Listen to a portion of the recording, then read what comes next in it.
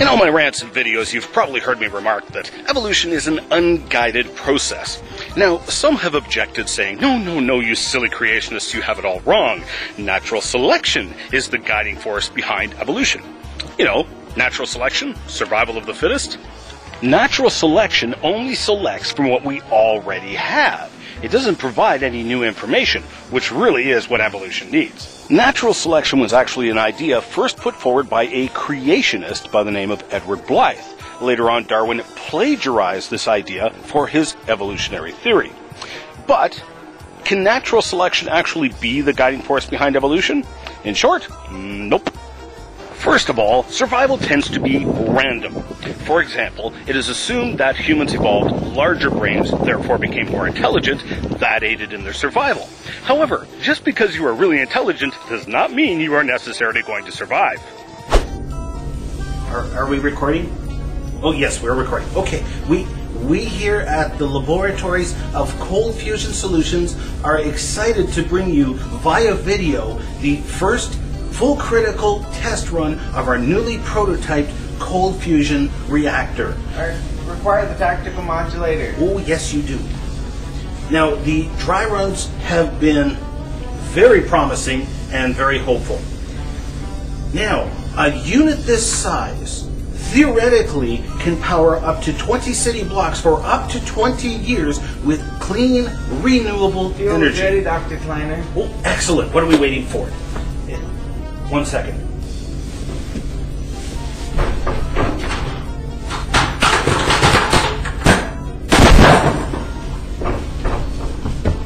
Just in case.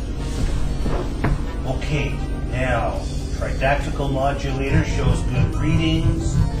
Coolant is running at a good temperature. Starting phase arrays now. Criticality reached in five, four, three, two, one.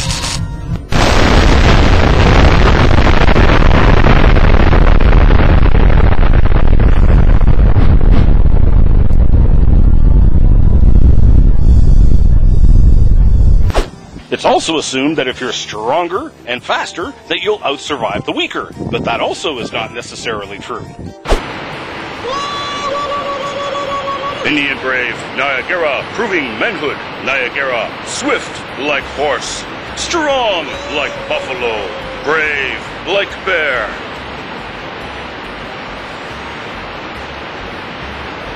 But dumb like stick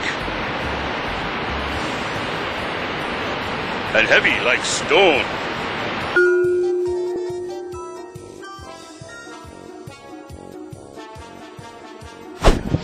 And having lots and lots of offspring also does not mean that you or your offspring will necessarily survive. Don't worry, I'm not going to venture into some morbid humor about a large family in a minivan meeting their untimely demise.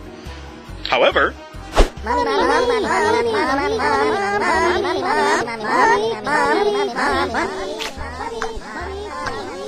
sweetie, what would you like to do today? Oh, I don't know. Maybe go to the beach with the kids? That sounds like a great idea.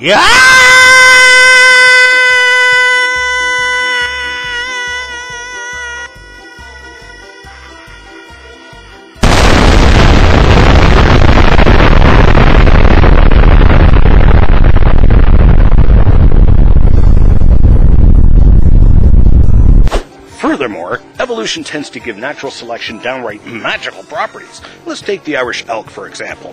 One might ask, why does it have such large horns? Well, the answer would be because natural selection selected it.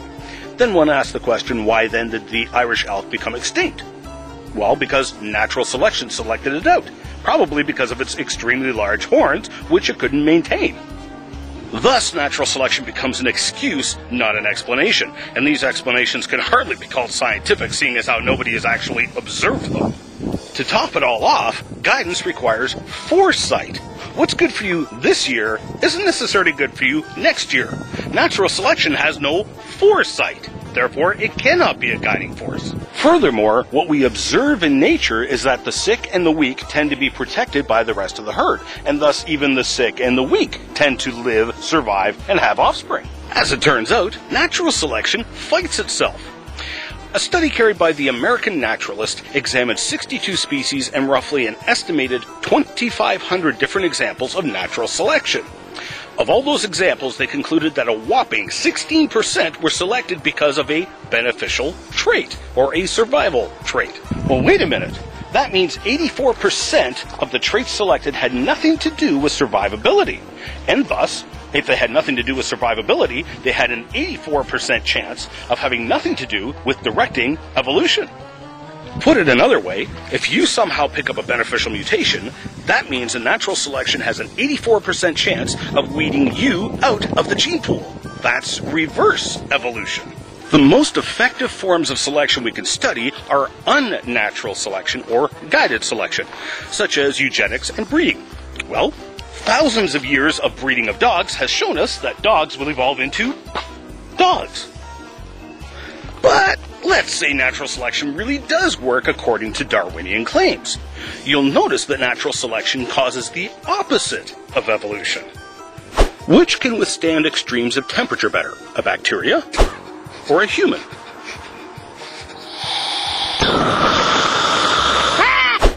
Which can go longer without food or water, a bacteria or a human? Hey! Can Anybody hear me? Anybody? Hello? Which do you think natural selection will select? Bacteria reproducing asexually, or humans which require two incredibly complex genders to reproduce? Which has more offspring? A bacteria? Or a human?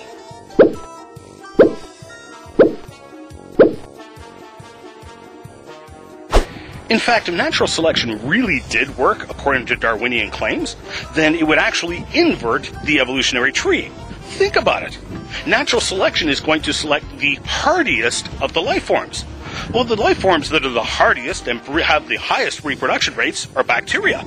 Other life forms, such as humans and the higher life forms, have a lower offspring rate and are more susceptible to extinction. So, if natural selection really was true, and evolution really was true, and bacteria were the first forms of life, we should never have evolved past the bacteria. So, evolution cannot produce the first life. See rants number 93 and 94. Evolution can't add more information or new organs, etc., to that life. See rants number 35 and 78. And natural selection only selects from what we already have, and what it does select is the opposite of upwards onwards evolution. Therefore, scientifically speaking, evolution is bankrupt. All of these observations, however, cause no problems for the creation model, which is based on the Holy Bible, which says we were created by none other than Jesus Christ. That Bible also tells us that the whole reason we even have natural selection is because we are in a world that has been marred and corrupted by sin. That's disobedience to that Creator. Now, that Creator says He's going to make a new heaven and a new earth, and that the only way to enter into that new heaven and new earth is through being born again. So, what are you waiting for today? Are you waiting for natural selection or some completely random event to end your life? Instead of handing over your life to the protection of that Savior, Jesus Christ, who provided a way to the new heaven and new earth for you? Well, hope you sleep well tonight.